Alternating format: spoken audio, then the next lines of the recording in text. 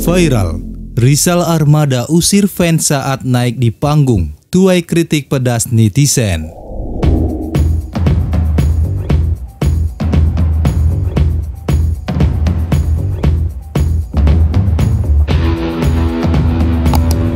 Eh, kalau kalau boleh itu video diputar seutuhnya utuh, ada di uh, akunnya Gen FM kalau nggak salah itu kita manggung di acara Gen FM.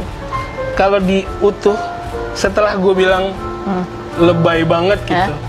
Terus ada sambungannya kayak mantannya tuh kayak cowoknya tuh ganteng aja ditangisin. Oh. Kayak...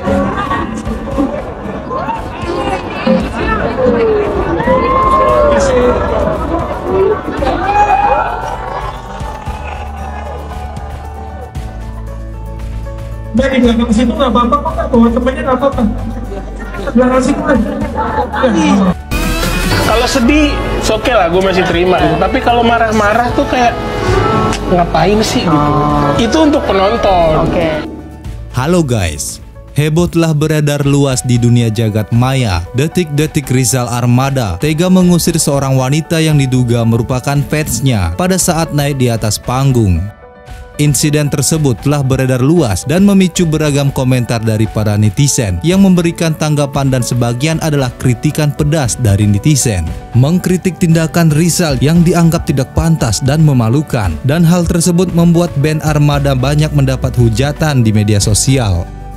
Diduga bahwa vokalis band Armada telah mempermalukan seorang perempuan dengan cara mengusirnya untuk segera turun dari panggung hingga dirinya meminta bantuan kepada security sehingga tindakan tersebut mengundang atensi publik dengan menyisipkan beragam komentar. Setelah video pengusiran terhadap wanita tersebut viral, kini giliran Rizal Armada yang membuat klarifikasi tentang video yang beredar dengan mengatakan bahwa sebenarnya dirinya tak ada maksud untuk mengusir perempuan tersebut berawal dari Rizal Armada dan personilnya baru-baru ini mendapat panggilan untuk manggung di acara perayaan HUT Kota Kendari yang ke-192 pada 12 Mei 2023. Ketika mereka tampil, Rizal menyempatkan untuk berbincang bersama penonton dan meminta beberapa penonton untuk menemaninya di atas panggung. Namun ada hal yang tak terduga ketika seorang penonton naik ke atas panggung tanpa Rizal ketahui akan tetapi dirinya mengatakan bahwa dirinya refleks dengan menolak perempuan tersebut dan memanggil security untuk menyuruhnya segera turun dari panggung.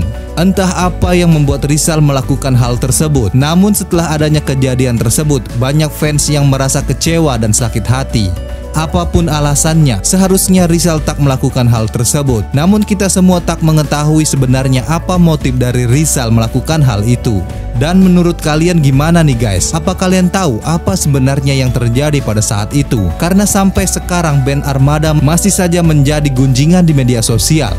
Silahkan share di kolom komentar ya guys.